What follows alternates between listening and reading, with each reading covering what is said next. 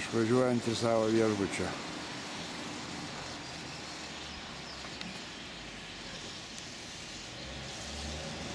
Nu ar patiko? Labai.